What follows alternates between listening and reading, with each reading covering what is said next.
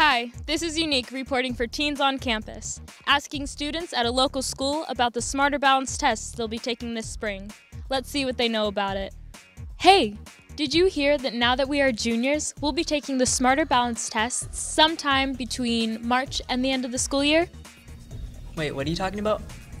I think I know what you're talking about. It's that computer test my brother took last year in the eighth grade, but he said the test was just practice and that it didn't count. Your brother was right. Last year was a field test where grades 3 through 8 and 11 practiced taking the test to test the test. This year it's the real deal, where our results will be scored. Man, that's not fair. My brother didn't get graded on it last year.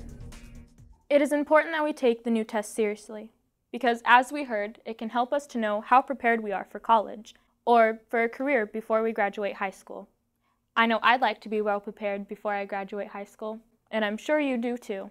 Yeah, right. The more prep classes I take now, the fewer I might have to take when I get into college, and I like that. and I bet your parents would like that too. These changes are focused on helping us succeed in the long run and achieve our dreams of college and a career. This test is designed to give teachers the feedback they need to improve instruction and the tools to improve teaching and learning. What are you all talking about? I was explaining about the Smarter Balanced tests we'll be taking as juniors this year. The Smarter Balanced tests will have scores that are very, very different from the way the old tests were scored. This means we cannot compare the old scores with these new scores. Yeah, that would be like comparing those newbie freshmen with us juniors. okay, these new scores will be different and are something that we all need to get used to in order to understand what they mean. This is a new test, and it is an exciting time for all of us. We will just need to have patience and be persistent to have a successful transition to more challenging standards in our schools. Yep, that's right. This is exciting because our teachers are helping us by providing high quality teaching and learning to help us have better outcomes. I think I'm really understanding the importance of this test now. Awesome! Well, there you have it. That's the final deal.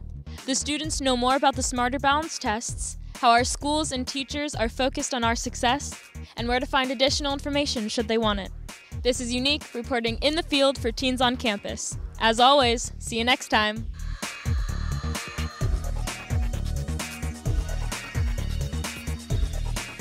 Let your parents know if they would like more information, go to the California Department of Education at www.cde.ca.gov.